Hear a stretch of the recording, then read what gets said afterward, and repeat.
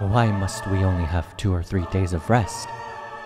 Every day should be Sunday, a seven day weekend. I think we should hear this guy out after all, Miss Himeko.